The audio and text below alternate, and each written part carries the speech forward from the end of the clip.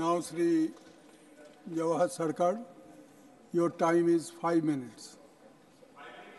Five minutes. Thank you, sir. Uh, sir, uh, Mr. Jethmalani before me has described lies as lies, big lies or white lies, and statistics.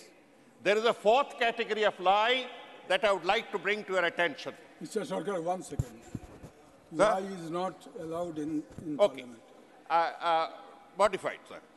But to the extent that I would like my friends in the House on both sides to be aware of the realities. They keep talking about GDP growth. I'll not contest it because it's too complicated for many to understand. But what does GDP growth mean where I am concerned and you are concerned? And that is per capita GDP per person GDP. The GDP of Ambani and the GDP of Adani does not matter to me. The on per capita GDP, we just had the G20 meeting, and there we made a calculation that the US has $63,000 by way of their per capita GDP. Australia has 61,000. Indonesia has $4,000 plus per person and India is the lowest, I repeat, the lowest among the group that has just $2,085 per GDP. So look at realism. Don't go in for bravado and bragging.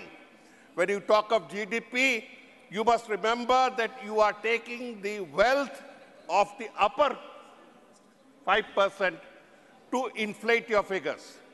I'm just giving an example of how the upper crust has increased its wealth. Mr. Amb the Ambani wealth was 1.6 lakh crores in 2014. I repeat, 1.6 lakh crores in 2014.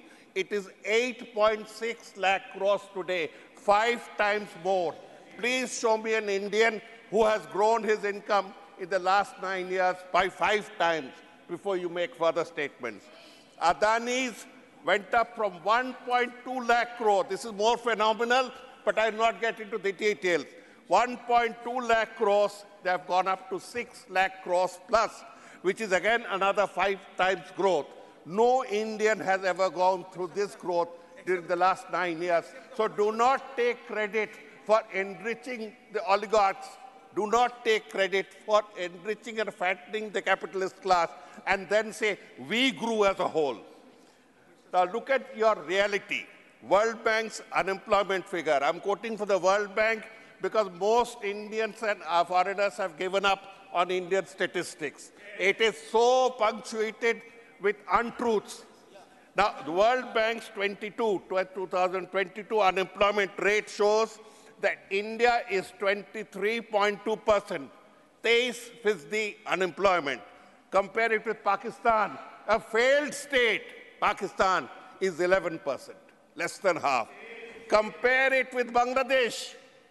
Once upon a time, a basket case. Bangladesh is 12.9, 13%, and we are 23%. Sharam se doobna chahiye sabko. Bhutan is 14.9%. So where are the realities that you are drum-drumming about GDP and becoming the fourth biggest and third biggest in the world? Come to reality. We are, the annual survey of industries is pointing out that we are steadily moving towards contractual labor. We are turning a rightful, respectful wage earner into a product that is at the mercy of the employer with, insofar as labor, timing, and everything is concerned. I come to the labor participation ratio. The labor participation ratio, the labor minister was here but doesn't seem to be too unduly interested. The LFPR, the labor force participation ratio in India is one of the worst in the world. I repeat, at the cost of perjury, one of the worst in the world. It was 42 to 45 percent was the rate of unemployment uh, participation of labor. That means the vast majority were outside the network of labor. Mercifully, it has gone up to 50 percent now. 50 percent, but look at the other countries. Nepal, 83 percent. Nepal is able to provide a labor force participation of 83%. Again, Bangladesh thrice, one, uh, twice more. China, 60%. So what, what are we talking about? I am talking, this one is of course relates to the female labor participation ratio, where I repeat the figures. India is only 20.5%, Nepal 83%, Bangladesh 30 plus percent, China 60 percent, and even uh, Sri Lanka, that was on the verge of collapse, they have a female labor participation ratio of one and a half times ours. When it comes to male and female combined, we have been between 42 and 45 percent through the entire regime of the last nine years. I Now, repeat, 42 now. to 45 percent, one of the lowest in the world. It has just gone up to 50 percent, just gone up.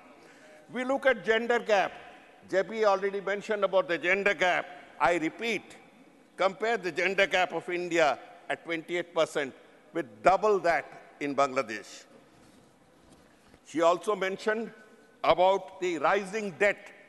I repeat, debt is increasing at a phenomenal rate, and we are binding future generations, your grandsons, your sons, my sons, and my grandsons, to a debt that we are not entitled to. Thank you. The Thank you, debt Mr. Sircar. to Your GDP ratio. over.